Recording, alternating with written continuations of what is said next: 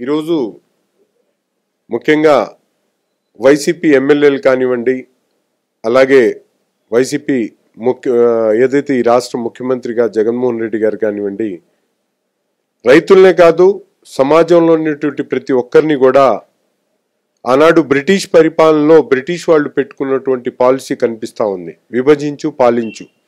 ఎందుకంటే రైతులు కాదు పెయిడ్ ఆర్టిస్టులు అన్నారు.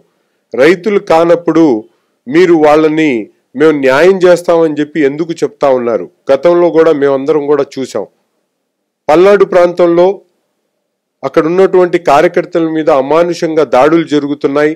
వారి ఊర్లు వదిలి బయటకు వచ్చి ఉంటున్నారు అంటే వాళ్ళను కూడా సాక్షాత్తు హోంమంత్రి ఆనాడు పెయిడ్ ఆర్టిస్టులు అని చెప్పినటువంటి పరిస్థితి.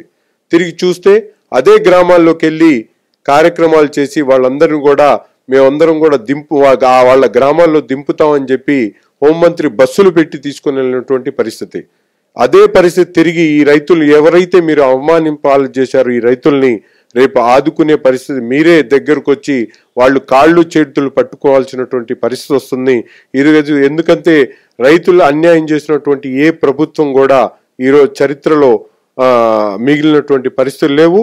రైతు ఉసురు తగులుతుంది. తప్పకుండా మీరు మేనిఫెస్టోలో పెట్టకుండా ఆ రోజు మీకు దమ్ము ధైర్యం ఉంటే ఆ రోజే చెప్పాల్సిందే. అమరావతి మేము ఇక్కడ పెట్టదలుచుకోలేదు మీరు భూములు ఇవ్వకండి అని.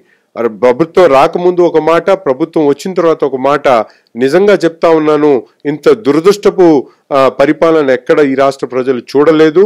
ఇటువంటి తుగ్లక్ పరిపాలన చేస్తున్నటువంటి ముఖ్యమంత్రిని కూడా ఎవరు కూడా చరిత్రలో చూసుంటారని చెప్పి ఈ సందర్భంగా తెలియజేస్తా ఉన్నాం.